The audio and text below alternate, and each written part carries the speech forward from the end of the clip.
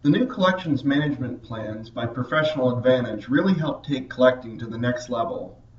Rather than wasting time manually figuring out which customers to contact, the collection plans take much of the legwork out of this process, automatically sending out reminder emails to your customers and creating tasks for your collectors such as make a phone call, with the plan tracking the payment progress of the invoices all along the way. This enables your collectors to be more efficient, spending less time finding which invoices are outstanding and more time actually collecting the payments, reducing your days sales outstanding. This is even truer if you've been using collections management already. For example, suppose we have a few queries we have used in the past to manage our customers.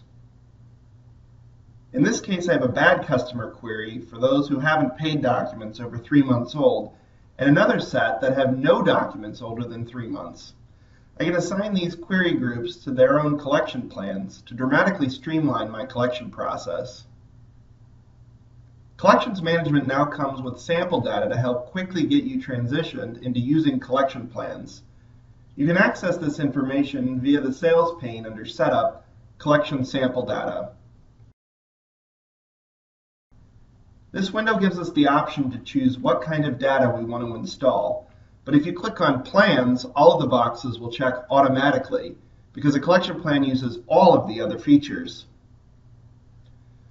The next option is to decide where you want to save your word letter templates. These should be saved in a shared network location where all users can access them.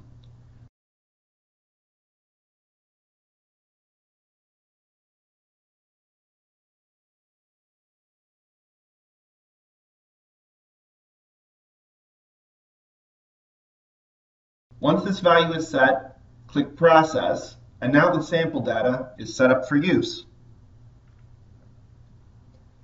At this point, you will want to physically copy over the included sample word letters to the shared network location. If you go to your GP folder, such as under Program Files, Microsoft Dynamics GP 2013 or GP 2010, go into the Data folder. This folder will contain several Word documents. Select each of them and copy them.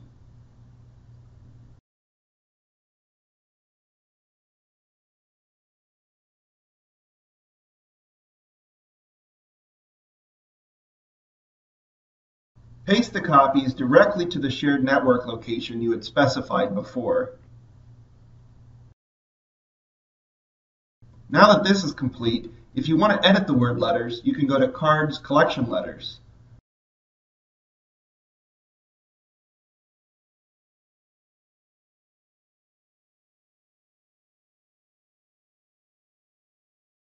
Let's say we want to go to this letter.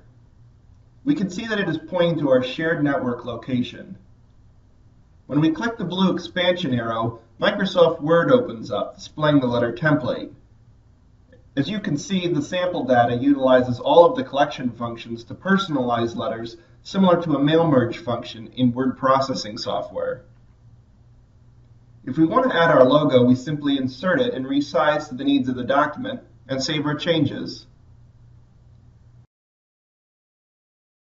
Going back to GP, we can go to Cards, Collection Plans, and scroll through to see the plans installed with the sample data.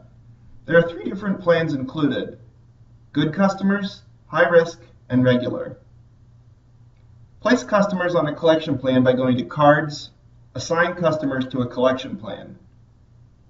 There are several different options for making the assignments, but since we've built some queries already, let's use those. Using From Query, choose Good Customers. Click Mark All to select all the customers in the query results. As you can see, you can also hunt and peck individually in this window if you so choose. We will select the Good Customer Collection Plan and then click Assign. Those customers are now assigned to a plan. We will repeat this process for bad customers using the High Risk Plan.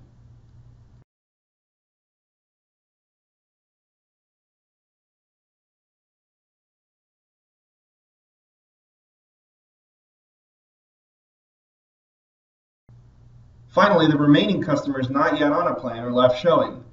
We'll choose Mark All and assign them to the regular plan.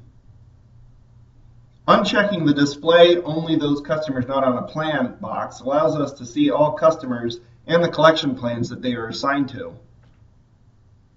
Setting up and using collection plans is as simple as that. In the next video, we'll discuss how to start using collection plans to communicate with our customers.